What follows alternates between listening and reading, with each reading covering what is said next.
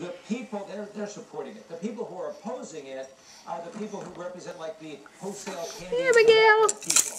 The people who sell tobacco products. They're saying these people are extremists. They're trying to control every aspect of your life. And if they go after your car, they're going to go after your condominium too.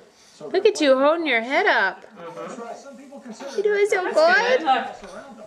That's right. Uh, as a matter of fact, I, I talked to a Oh, wait, it's on uh, the- who said your, your car is your castle. Your, uh, your home is your castle. Uh,